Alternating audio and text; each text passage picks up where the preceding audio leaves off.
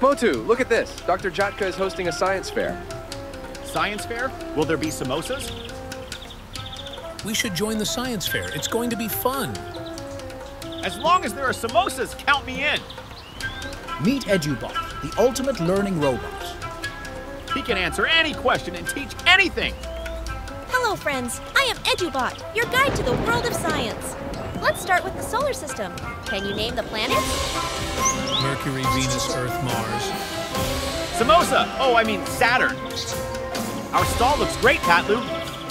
Thanks to Edubot, we are ready. We will win the fair by cheating, as usual. Yes, boss? With the power of Chingum, I declare this fair open. Wow, a learning robot! Teach us something cool, Edubot. Let's see how they win now. No, what's happening? John must be behind this. Don't worry, I have a backup plan. Back to normal. Let's continue learning. Let's make a volcano, mix baking soda and vinegar. Wow, that's amazing.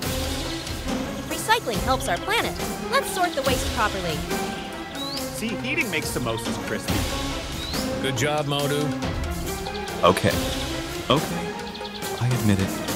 I tried to sabotage their stall. Nothing is impossible, especially catching you.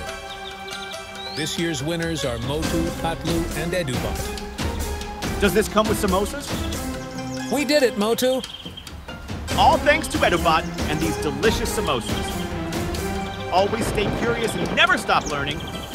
And remember, science is fun. Goodbye, friends. Keep learning and exploring. Next time, we will travel through time. Uh-oh, here we go again? This was the best science fair ever, especially with samosas. What a day, Motu. Yes, and it ended perfectly with samosa.